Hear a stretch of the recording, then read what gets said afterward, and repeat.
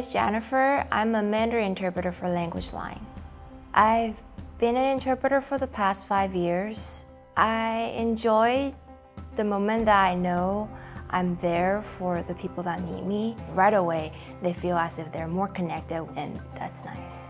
There was one situation where a pregnant woman actually, she's about to deliver and she's there in the delivery room and I get on the call. It's a little chaotic already. Everything happens really fast, but I just remember being there in that moment with the pregnant lady and as the doctor goes push push push and I go in Mandarin tui tui tui and the doctor has to count one two three and I sometimes I have to pick up the pace along with it. I just go year sign and babies are delivered and I get to hear their first cry and I just thought wow to know that I was able to be there for the mom and the baby as a new life comes to earth. It's it's a joy and um, at the same time it's I still have to maintain my composure though like okay I'm really happy but I can't really get up and dance just yet.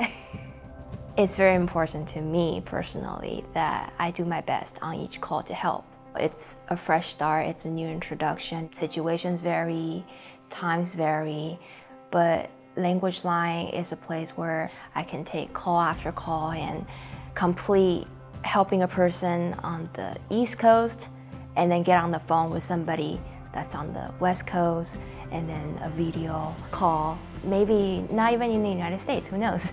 we have a lot of good interpreters who are very good at doing what they do and very professional and cares that they are making a difference to bring together this service, this product for our clients and customers. As an interpreter, I help people bridge the language barrier gap.